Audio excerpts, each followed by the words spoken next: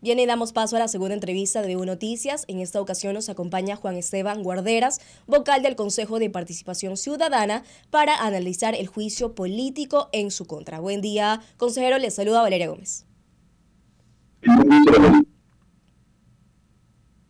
¿Nos escucha, consejero? Sí, sí, lo escucho muy bien. Buenos días. Buen día. Eh, bien, analizando un poco el juicio político en su contra, eh, bueno, comenzó con la asambleísta correísta presentando la solicitud eh, por presunto incumplimiento de funciones. La Comisión de Fiscalización aceptó este trámite. ¿Cuál es su respuesta a esta decisión?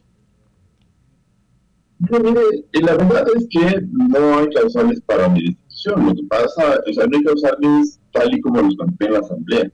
La verdad es que hay otras causales que son las causales no dichas por las cuales me están enjuiciando. ¿Y cuáles son esas? Primero, mire, yo he defendido los intentos de correísmo de tomarse el concurso de la Fiscalía General del Estado. Segundo, mi empecinamiento en evitar que los miembros de los partidos políticos hagan campaña como funcionarios públicos o los partidos políticos, en particular, por ejemplo, el juicio que le gané al alcalde de Quito, Pavel Muñoz, que como alcalde de Quito hacía campaña y eso está mal. Luego, finalmente, está mi juicio contra la vicepresidenta de la República. ¿Por qué? si es que la vicepresidenta de la República llega a sentarse en Carón Deret, eh, emitiría tranquilamente las explicaciones, los indultos presidenciales para Jorge Glass. Y eso es justamente lo que me han advertido, que si yo quito ese juicio, pues eh, no procederían con mi juicio político, cosa que yo obviamente me he negado.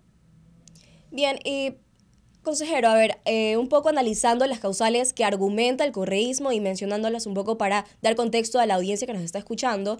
Eh, bueno, el primero menciona que es violación del deber de reserva y protección al usted revelar los nombres de un colectivo que presentó la acción de queja del TCE en contra de la, de la presidenta del CNE, Diana Tamaín, ¿no? El otro es un presunto tráfico de influencia y violación de la independencia judicial. También argumentan abuso de poder y uso indebido de recursos, pero sobre todo ellos hacen hincapié en la presunta falsificación de firma eh, que recordemos eh, su ex abogado, Ronald Morocho, denunció que presuntamente usted habría falsificado su firma en la denuncia contra BAT en el TCE. ¿Cuál es su defensa a esto? Bueno, mire, primero, eh, el caso del tema del Consejo Nacional Electoral. Eh, fue una noticia pública, es, es de conocimiento público, que hubo una posible vulneración de normas por parte del Consejo Nacional Electoral. ¿En qué? Mire, por ley, a los, eh, a los tres años del periodo de seis años de las autoridades del Consejo Nacional Electoral, Diana Tamayo debía someter ante el pleno del mismo organismo del Consejo Nacional Electoral la reconsideración de su presidencia. Eso ocurre en todos los órganos colegiados, incluyendo el CCS. A medio, a medio plazo, a medio camino, hay que reconsiderar las presidencias. Eso se vulneró. Entonces, un colectivo pidió que yo lo investigue. Yo hice una solicitud de información solicitud de información. Y entonces lo que me parece lo más divertido, divertido es la palabra, es que sea de, conocimiento público que CNE vulneró esas normas y que a mí me lleven a juicio político por investigarlo. O sea, aquí el que investiga juicio político y a los que y a los que vulneran las, leyes no. Y obviamente en un tema de solicitud de información no hay ningún tipo de eh, confidencialidad. Eso es lo primero. Respecto al tema de la falsificación de firmas, mire, eh, yo contraté a un abogado. Ese abogado le hice el pago, tengo los chats del pago, ese abogado me dijo quién iba a firmar, ese, ese, abogado su socio iba a firmar. Yo le pregunté los nombres, tengo todos los chats que aseveran cómo fue ese contacto, tengo los chats notariados de mi equipo mandándole los documentos, los únicos dos documentos que se ingresaron fueron firmados por esa persona y tengo el curry de esos documentos mm, de cómo me los entrego. Lo que no hay, y eso absolutamente no hay, hay una prueba en donde yo con mi patita haya eh, firmado el nombre de un abogado, porque sería bastante torpe en realidad. ¿Sabe? Mm, es para un escrito en un proceso donde yo ya estaba representado, ¿por qué había yo de falsificar una firma? Entonces, Aquí lo que ocurrió es que el abogado se torció, vaya usted a ver cuáles son los motivos por los que se torció. Pero bueno, de todas maneras yo tengo todas las evidencias y eso no me preocupa. Y el otro es, eh, este también es otro chistoso, es supuestamente una interferencia mía en, en, en, de los jueces. Mire, Eh, yo voy mm, ocho años luchando contra la corrupción. Eh, inicié como voluntario en la Comisión Nacional Anticorrupción eh, y desde ahí solo he tenido en mi vida solo un juicio en donde salí inocente. Se trata de ese juicio. ¿Y qué es lo que ocurrió? Mire, unas personas hizo una investigación que fue tan buena que la directora de ese POP hizo una rueda de prensa con mi investigación. Cuando yo informé de ese caso a la opinión pública, los, los aludidos, los presuntos corruptos, se sintieron que su honor fue vulnerado. Me llevaron a juicio. Y ellos no presentaron pruebas de que su honor había sido vulnerado. Para cualquier penalista que me escuche, eso es un tamaño error. Es decir, en un juicio uno no puede, no, en un juicio donde se alega que el honor ha sido vulnerado, no se puede no presentar una prueba ni la más mínima de que el honor de esas personas fue menoscabado. No presentaron esas firmas. Y en primera instancia y en segunda instancia como tribunal, es decir, no menos de cuatro jueces, todos corroboraron lo mismo, que es evidente. En un juicio, si no se presenta la prueba de, que hubo una vulneración del honor, pues se pierde el juicio. Y por eso yo gané. Entonces, cuando acá hay una metida de patas mío en, en la, eh, donde los jueces. Ahora, usted va a ver que estas tres cosas son cosas bastante pequeñas. Uno va a decir, de todas las autoridades del país, ¿por qué la Asamblea se fija en tres cosas bastante pequeñas? ¿Se acuerdan de esa política nacional de esas cosas pequeñas? Pues no lo son. La respuesta es que no lo son. Lo importante son las otras causales que yo estaba diciendo, ¿no? Por ejemplo, y con eso termino, mira, aquí lo que se busca es tomarse el control del CPCCS, porque ahorita, miren, somos siete consejeros, cuatro independientes, tres declaradamente correístas. Si yo salgo, sube Franco Loro, ex abogado de Jorge Glass, miembro, o miembro de la Liga Azul, y entonces ahí se pasa de cuatro independientes y tres correístas a tres independientes y cuatro correístas, lo que les permitiría tomar el control total del concurso de Fiscalía General del Estado, al Consejo Nacional Electoral, a la Superintendencia de Bancos, al Tribunal Contencioso Electoral y al Consejo de la Judicatura, que son, por ejemplo, lo que se va a autorizar solo en los próximos meses. Consejero, y ahora usted señala, señaló en algunos medios, informó a algunos medios, incluso también mediante su cuenta de, de ex antes Twitter, que el correísmo le pidió bajar el juicio a BAT a cambio de que ellos bajaran el juicio contra usted. ¿Cuándo ocurrió esto y quiénes específicamente se acercaron? Mire, eh, a ver, le cuento cómo es, cómo es cómo, cómo ocurrieron las cosas.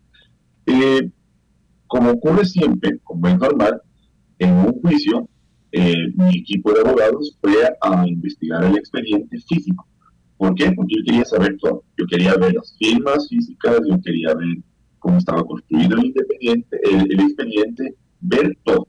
Y hay unos interlocutores en los premisas de la asamblea, en el lugar físico de la asamblea, se acercaron dos personas que se identificaron como miembros del equipo del señor Arauz, ¿vale? Eh, y entonces ellos mm, establecieron de manera muy, muy, muy básica, muy simple.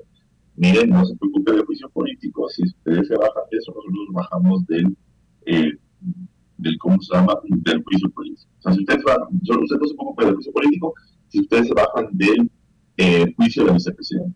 Ahora bien, tengo que, tengo que precisarle, esas personas, o sea, en ningún momento yo he dicho que se trata directamente de empezar, son personas que se identificaron como entonces, eh, lo que me pareció divertido fue que yo nunca dije el nombre de Andrés Arauz en ninguna entrevista. Y cuando yo delego esto, el primer tweet la primera reacción es de quien coincidentemente de. Entonces, si, por un lado pica, pues, mm, digamos que, mm, por, decirlo como una frase popular, eh, eh, si el río suena, pierde ¿no? Entonces, eh, pero claro, mm, yo no tengo certeza de que haya sido directa, que, esas personas tengan que sean formalmente o realmente miembros del equipo de empresarios. Lo que informa el país es el tipo de eh, información que me llegó. Consejero, y este, estas personas que se presuntamente serían miembros del equipo de Andrés Arauz, eh, hablaban respecto a la demanda que usted interpuso a la vicepresidenta Verónica Bat ante el TSE. ¿Es específicamente esa demanda? Pero y, y le pregunto, ¿cuándo habría sido esto tomando en cuenta de que bueno, eh, hablando un poco de fechas, ¿no? Actualmente la vicepresidenta ya fue sancionada económicamente, el TCE eh, la, la, sancionó con una multa de 8.500 dólares, si no me equivoco. Entonces, ¿con qué, ¿con qué fin el correísmo quisiera que usted dé de baja una demanda que ya fue sancionada? Porque está en apelación. Y en apelación es muy posible que yo gane, porque mire, esa sentencia salió súper chistosa. Verá, para que su público lo entienda muy bien. Eh, yo, le, yo, le, yo, le, acusé por hitos de pre-campaña que son sancionados como una infracción electoral grave por artículo 278 del Código de la Democracia, que prevé multa y o destitución y suspensión de los derechos de participación. Ahora, ¿por qué digo que la sentencia es archichistosa? Porque la jueza de primera instancia identifica y da por probados siete hitos, siete casos de pre-campaña. Entonces, mire, yo entiendo que solamente si una persona se pasa una vez de la raíz, dos veces, ya, tres veces me parecía mal, siete veces, siete veces. Entonces, en mi apelación, yo lo que digo al tribunal es, si está prevista la multa y o la suspensión de los derechos de participación, y una vez que se prueba contundentemente y se acredita que hubo siete casos de pre-campaña, ¿cómo demonios puede ser que usted se mute?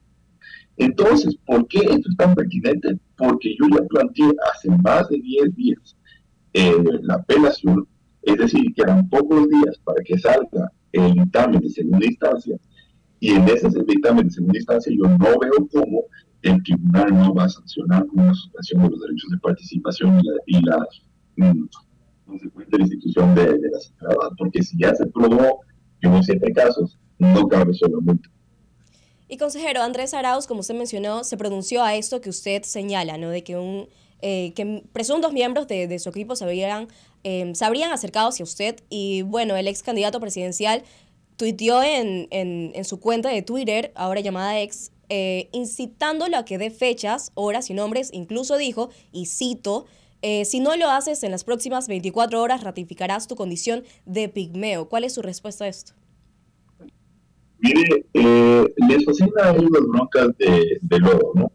Eh, no solo es de señor Arao, sino la reflexión ciudadana dice que la política nacional tiene que reducirse a las peleas de barrio. Mire, yo no creo eso. Por ejemplo, le doy un ejemplo. Yo soy un consejero de Estado eh, y yo no insulto. Yo, pues entonces, por ejemplo, en mis confrontaciones con miembros del correísmo, el SPCS, he sido siempre resultado y justamente me han dicho pigmeos. Yo creo que las instituciones públicas tienen que tener un poco más de dignidad. Entonces, y eso, eso significa que yo sí puedo defender mis posiciones con argumentos sin tener que rebajarme, no, no rebajarme, sin tener que permitir que instituciones públicas que representan al pueblo ecuatoriano eh, se tengan que, ventilar, ahí tengan que ventilar insultos. Entonces, eso no está bien. Entonces, simplemente no, no le voy a responder, no tengo por qué. No está bien eso. el, el, el, mercado está para, el, el, mercado está para el mercado y las decisiones políticas tienen otro tipo de normas, ¿no?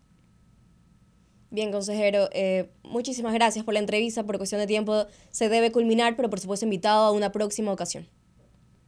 Siempre, siempre, siempre, la Bien, estuvimos con Juan Esteban Guarderas, vocal del Consejo de Participación Ciudadana y Control Social, para analizar el juicio político en su contra, entre otras situaciones que ocurren en la política ecuatoriana. Bien, son las 8 horas con 47 minutos, nos vamos a un breve corte, pero ya continuamos con más en Un Noticias.